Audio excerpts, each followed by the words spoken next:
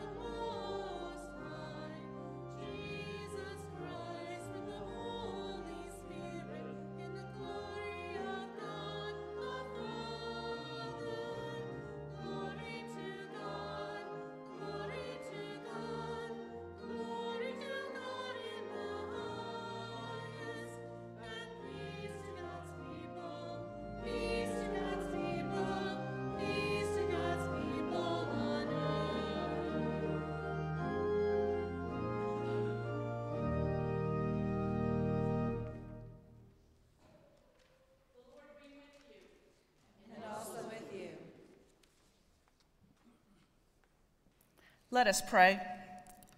Most holy God, the earth is filled with your glory, and before you angels and saints stand in awe. Enlarge our vision to see your power at work in the world, and by your grace make us heralds of your Son, Jesus Christ, our Savior and Lord. Amen.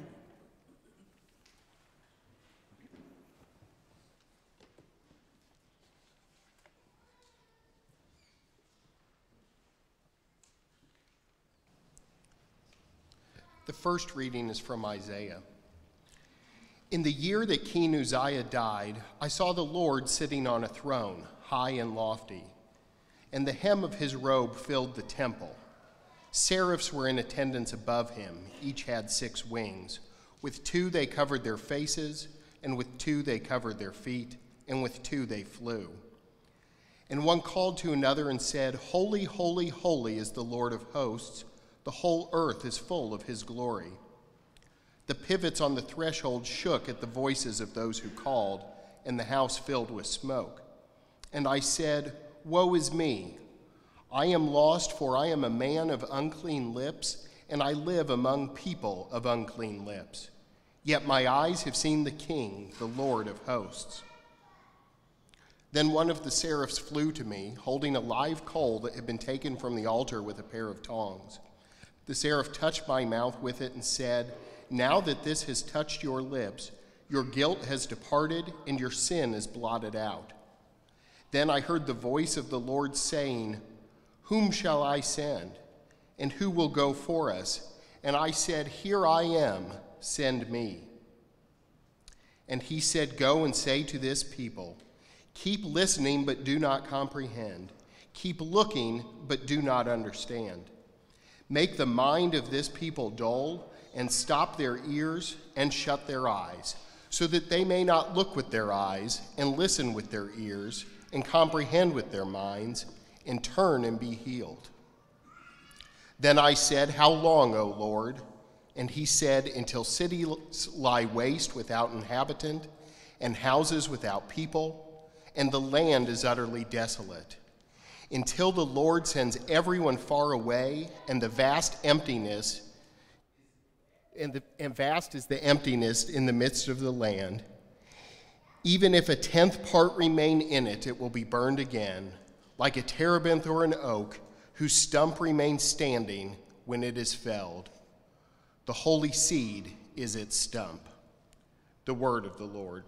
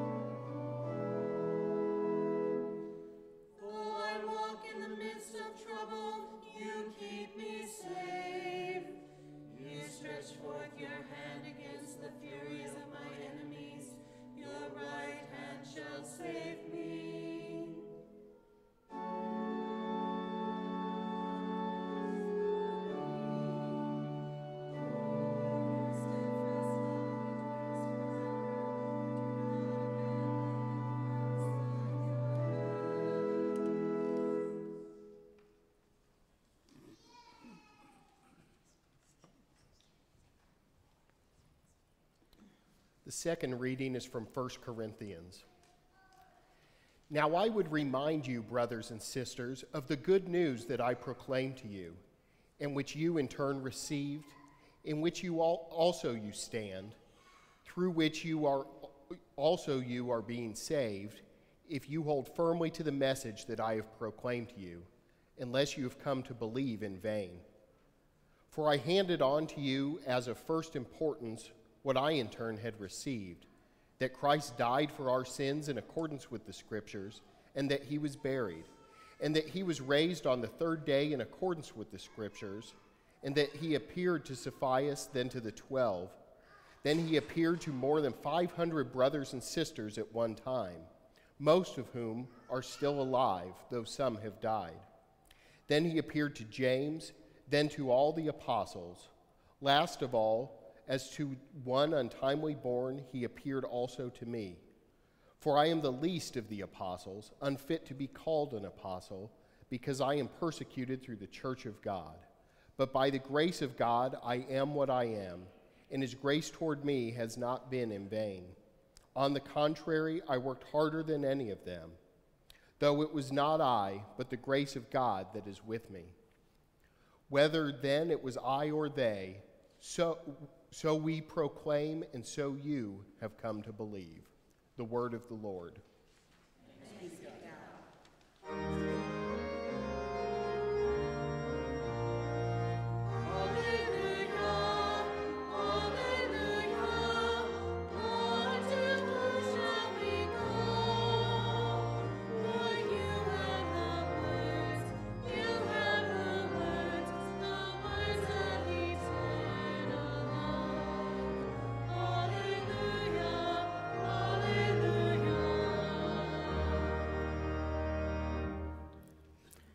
The Holy Gospel according to St. Luke, the, the fifth chapter.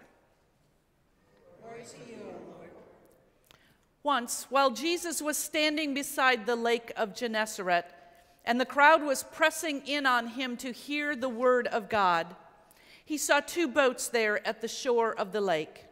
The fishermen had gone out of them and were washing their nets.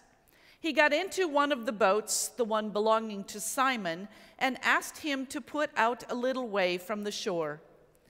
Then he sat down and taught the crowds from the boat. When he had finished speaking, he said to Simon, Put out into the deep water and let down your nets for a catch. Simon answered, Master, we have worked all night long, but have caught nothing. Yet if you say so, I will let down the nets. When they had done this, they caught so many fish that their nets were beginning to break. So they signaled their partners in the other boat to come and help them. And they came and filled both boats so that they began to sink. But when Simon Peter saw it, he fell down at Jesus' knees and saying, Go away from me, Lord for I am a sinful man. For he and all who were with him were amazed at the catch of fish that they had taken. And so also, so also were James and John, sons of Zebedee, who were partners with Simon.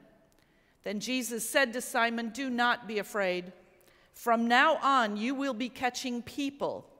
When they had brought their boats to shore, they left everything and followed him. The gospel of the Lord. You may be seated, and I'd like to invite any young children who are here if they'd like to join me up front. Are you willing to come up? Awesome. Come on up.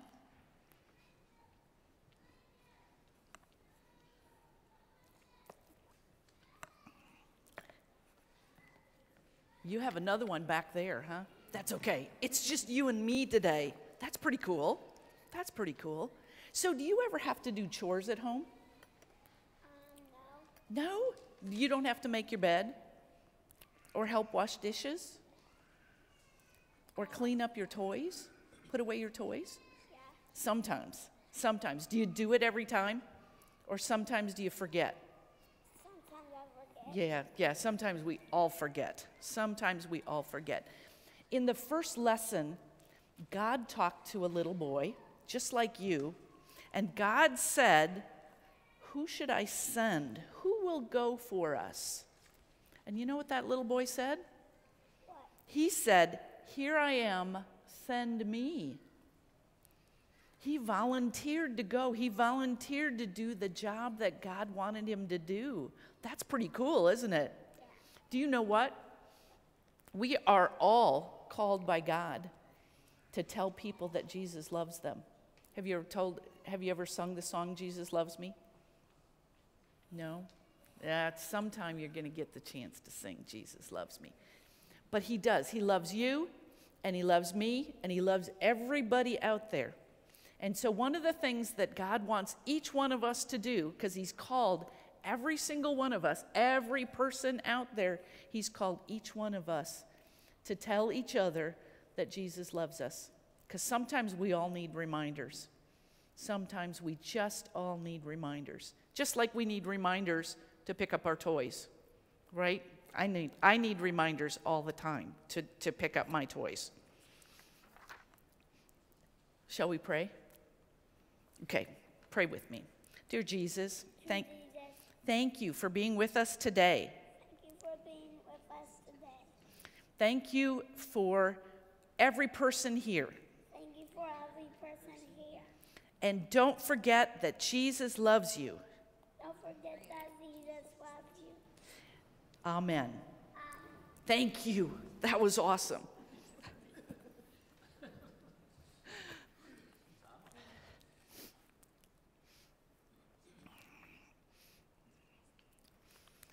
Let us pray.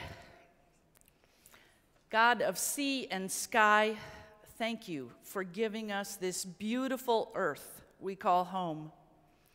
Thank you for friends and family who support us. Thank you for this wonderful day. Open our ears to hear your word for us today. Open our eyes to see Jesus today. Open our hearts to hear your call to action this day. Amen. So, for those who don't know me, and I know most don't, I have lived over half of my life here in Springfield. The first part of my life, I lived in Northeast Iowa, Decorah to be specific, and then I went to school at the University of Iowa in Iowa City.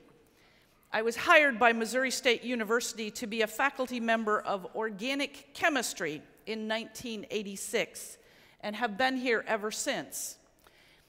And, and yesterday, it only came to me then, but I actually preached here at Messiah. It would spend about 27 years ago, so it was the old sanctuary. On Mother's Day, you, you used to have a woman come to preach, and you invited me to come, and it was right before my son was born, and I was really pregnant. And I remember everyone was worried that I was going to have that baby that day um, during the service. Didn't happen that way, and um, but that was about 27 years ago. So um, I have been here before. Um, my husband and I arrived in Springfield. We bought a home two blocks away from Prince of Peace Lutheran Church. We joined there, and we've never left. We have two children who were born here, and they're both grown. Sarah is our firstborn. She is now married and lives with her husband in Albuquerque, New Mexico. Um, her husband is working on a PhD in a science related field, and Sarah is working for the university, but also she has started seminary and is working towards becoming a pastor um, through the Rocky Mountain Synod. Michael, our son, is finishing a master's degree at University of Montana in Missoula. They both went far away. Um, and we'll be there soon to celebrate um, his graduation and the first weekend in May. He'll be certified to teach high school chemistry and earth science. I went through training to become a parish ministry associate and was certified in 2003. And I take this call to serve as a PMA very seriously and pray that my words today may touch your hearts. The gospel lessons of this Epiphany season have all been about the authority that God gave Jesus. Two weeks ago, Jesus read from Isaiah and declared that the prophecy was fulfilled in his reading of it. Last week, Jesus declared his authority in his hometown, although they didn't really want to hear that message in his hometown. This week, we hear that the crowd was pressing in on Jesus to hear the word of God. We're so fortunate to live in a time and a place where the word of God can be read freely in our homes, in our worship spaces, and wherever we find a quiet place to read. Maybe a coffee shop, the library, a park bench. And we're fortunate that many of us have the Word in our homes. Many of us have several copies in our homes. The Gospel of Luke makes it abundantly clear that Jesus has the power and the authority to read and preach the Word of God. Jesus has been anointed by God to preach the gospel to everyone. God sent Jesus to heal, preach forgiveness, and set us free. So I took on a challenge this, this year. The challenge was to read through one of the Gospels entirely in the shortest period of time possible. It took me a week. And to write down three to five things that either I learned or relearned about Jesus, something that jumped off the page at me, and then to consider how that might change me this year. I picked Luke. I picked Luke partly because we're reading it this Epiphany season, and partly because I hadn't read through that one recently. So, three things jumped out at me as I did that reading. And the first one was in the fourth chapter, verse 43, where it says, Jesus says, I must preach the kingdom of God to the other cities also, because for this purpose I was sent. And that, that verse just jumped off the page at me because Jesus never sits still. He never sat in one place. He's always moving around. He's not just in the synagogue, he was by the lake shore, and today we heard he was sitting in a boat. Um, he doesn't even stay in his own hometown, he moves around a lot. He travels to where the people are, and the people come. And he stepped into that boat to preach from the water so that the shore could fill with those who wanted to hear it. And so I got to thinking, why was that written so plainly for us?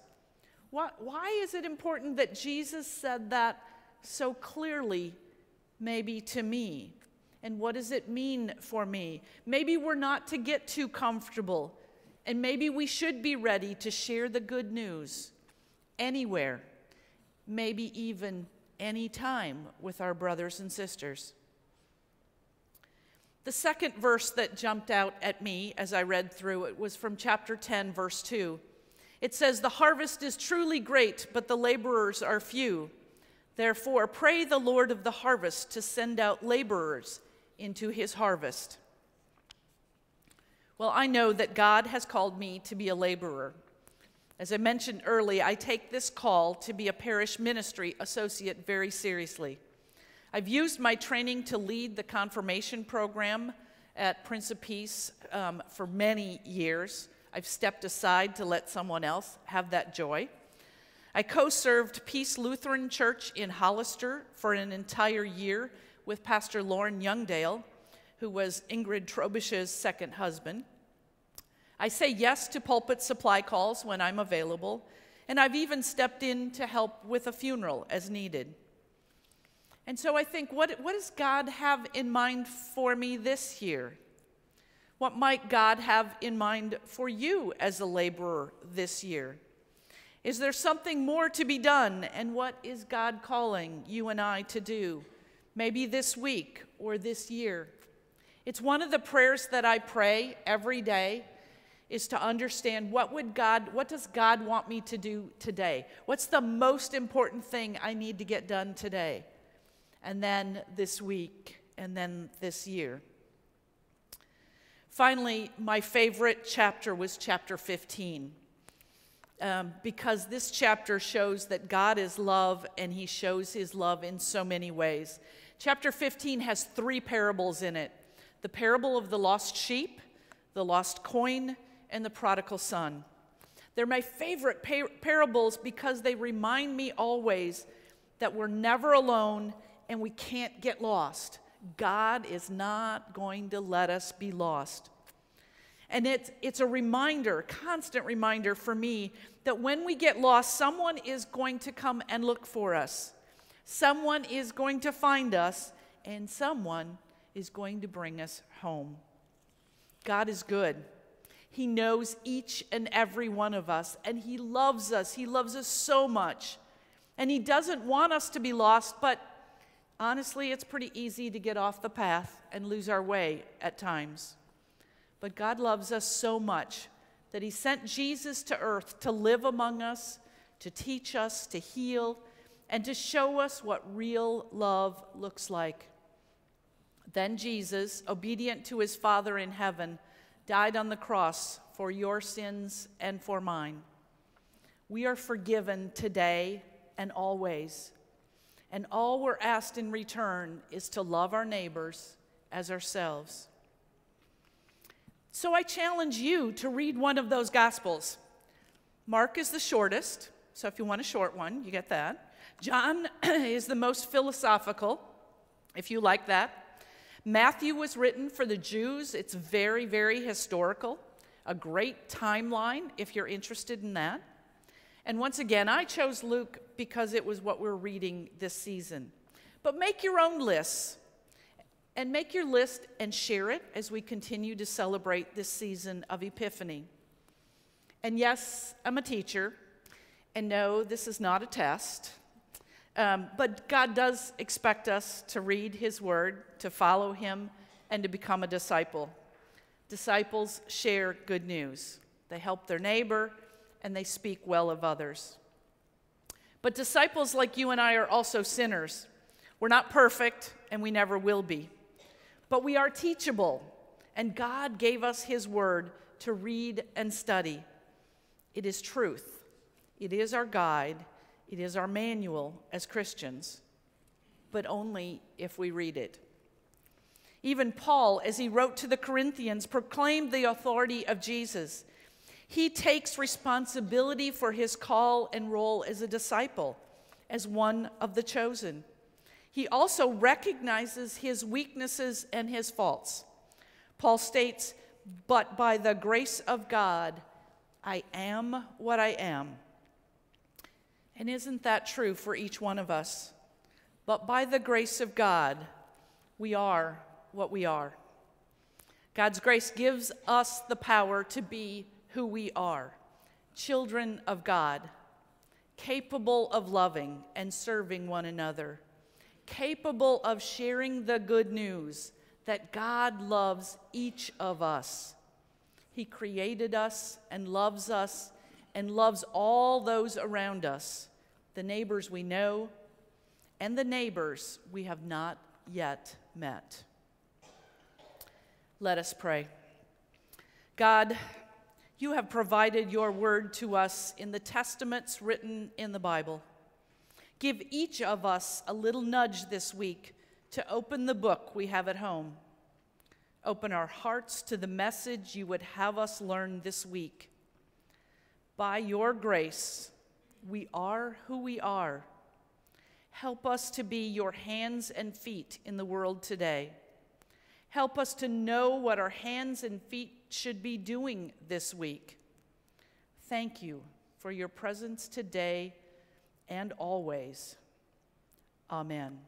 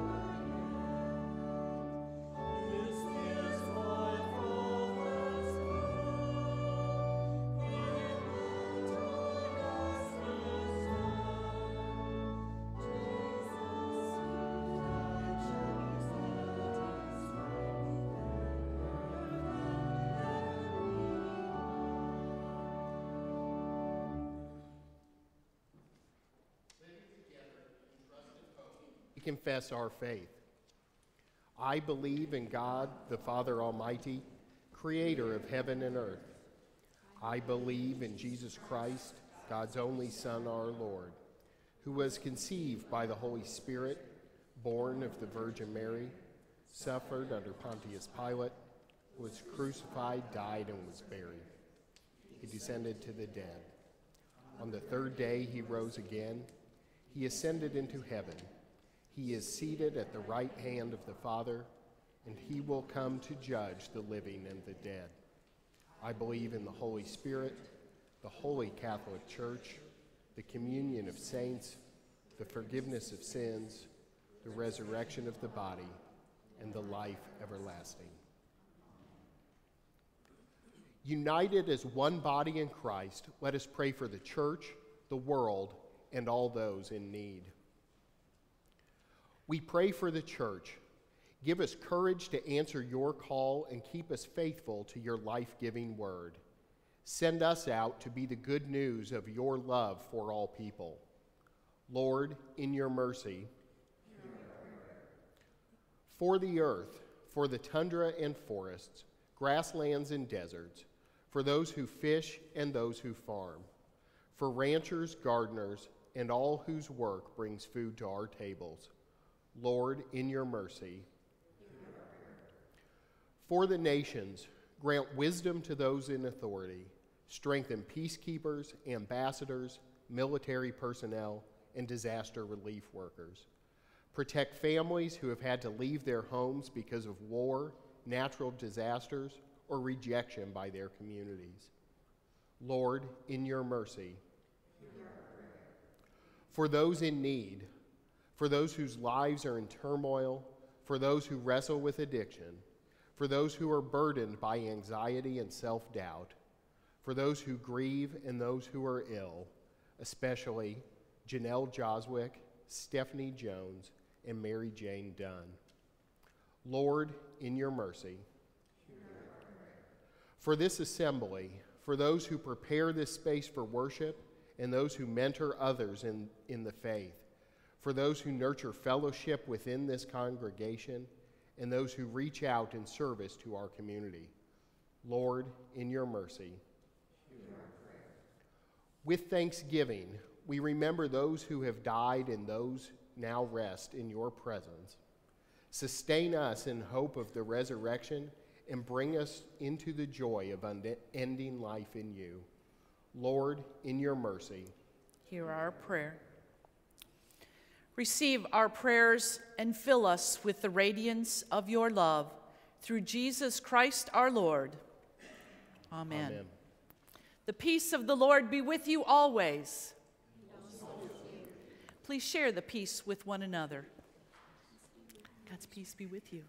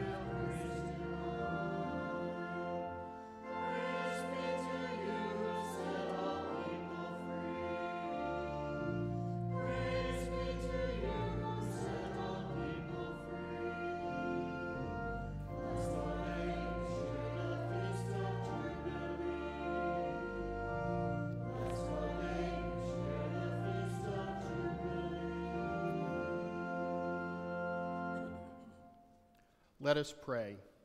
God of all creation, all you have made is good, and your love endures forever.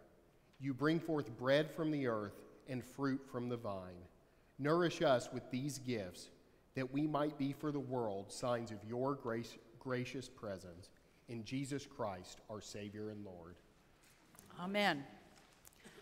The Lord be with you. Lift up your hearts. Let us give thanks to the Lord our God. It is right to give our praise. it is indeed right and good that we should everywhere and always offer thanks and praise to you, holy God, mighty and immortal, through Christ our Lord. In your Son, Christ Jesus, your eternal light has dawned upon our darkness, and by his death and resurrection, you reveal your glory to every nation. And so, with the church on earth, with Simeon and Anna, with the whole company of heaven, we praise your name and join their unending hymn.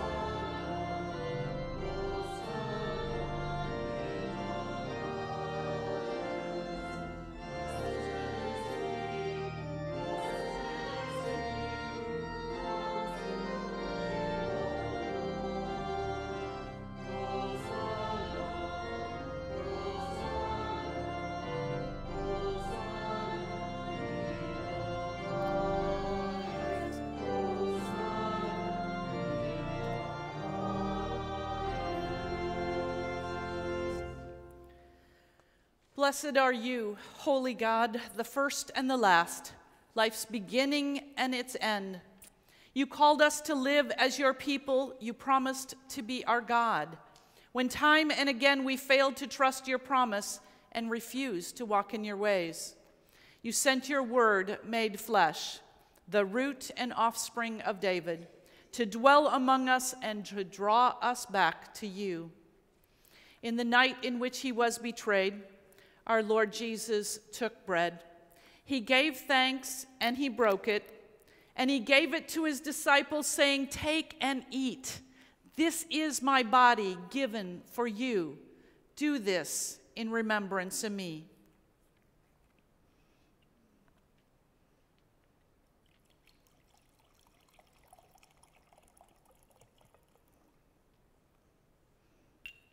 Again, after supper, he took the cup.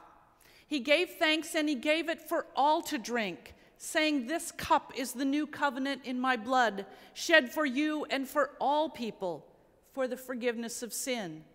Do this for the remembrance of me.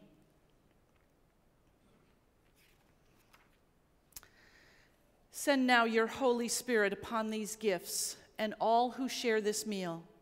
By your Spirit, wipe away all tears and mend with mercy what sin has torn, that we might await Christ's coming with glad and joyful hearts, and at last feast forever at the supper of the Lamb. Lord, remember us in your kingdom and teach us to pray. Our Father in heaven, hallowed be your name. Your kingdom come, your will be done, on earth as in heaven. Give us today our daily bread. Forgive us our sins as we forgive those who sin against us. Save us from the time of trial and deliver us from evil. For the kingdom, the power, and the glory are yours, now and forever. Amen. The table is set. Come and taste that the Lord is good. Today we will celebrate communion using intinction. And so we'll form a line um, in the middle, um, and then we'll have the, the glasses ready for you for the intinction as well. Come and taste that the Lord is good.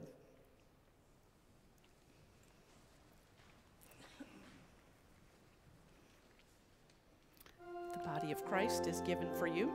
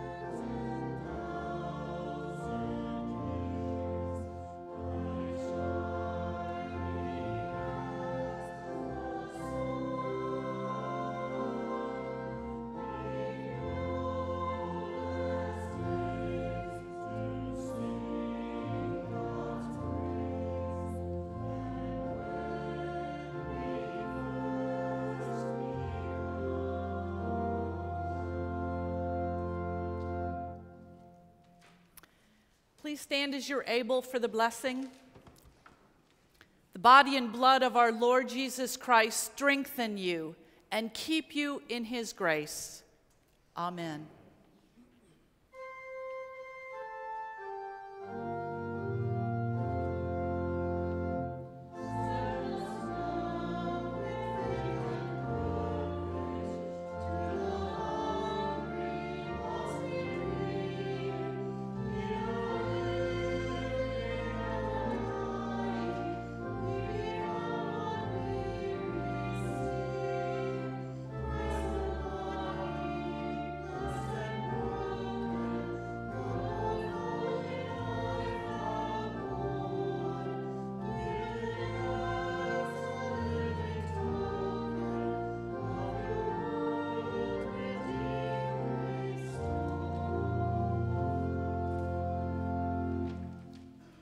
We thank you, O God, that you have fed us at your banqueting table with bread and wine beyond compare, the very life of Christ for us.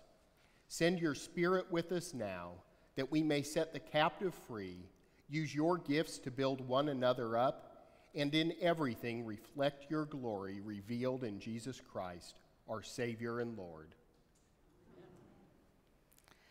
So it says there are announcements now. I don't have anybody, any announcements. Are there any announcements that need to be made this morning? You've got one. All right, great. Yes.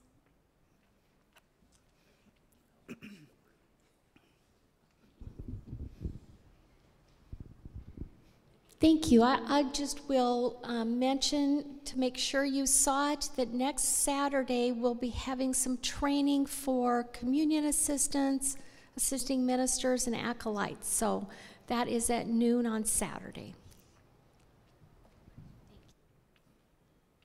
Thank you. And now the glory, the God of glory dwell in you richly. Name you, beloved, and shine brightly on your path. And the blessing of Almighty God, the Father, the Son, and the Holy Spirit be upon you and remain with you always. Amen.